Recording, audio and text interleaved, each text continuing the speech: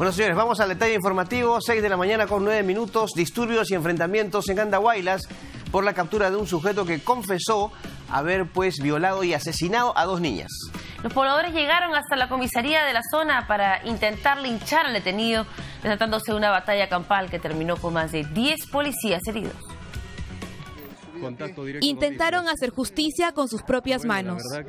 Cerca de 500 personas se enfrentaron a policías en los exteriores de la comisaría de la provincia de Andahuaylas en Apurímac, al enterarse que un sujeto identificado como Michael Osco Quispe había confesado haber violado y asesinado a dos niñas de 10 y 11 años.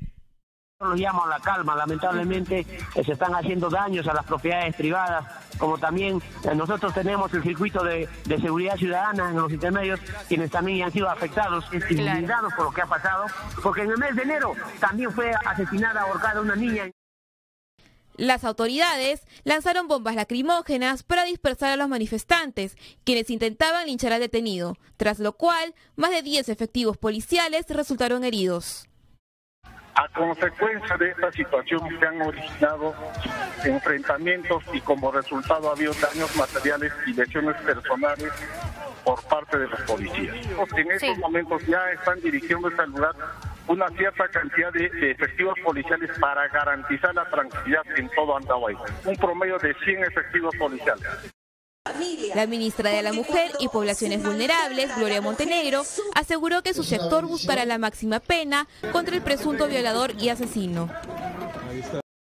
Ya nosotros estamos desde que se conoció la noticia con nuestro abogado para ayudar a la familia, también con la psicóloga y la asistenta social para darles el soporte y la contención necesaria. Nosotros eh, estamos ya con el abogado para estar atentos a cada uno de los procesos, al llenado de las actas y a que se pida la máxima pena para ellos.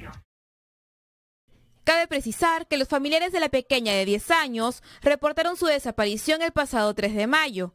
Ellos encontraron su cuerpo enterrado en el cerro Guayhuaca. De inmediato, las autoridades llegaron a la zona para levantar el cadáver.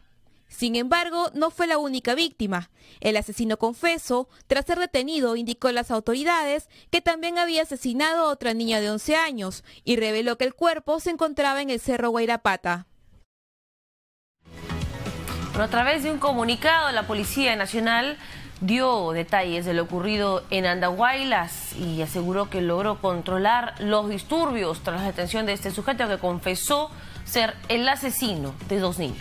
La Policía Nacional pidió a la población mantener la calma y reafirmó su compromiso de velar por los derechos humanos de los ciudadanos. Garantizó también una correcta investigación en este caso para luego poner a disposición de la justicia a la persona intervenida.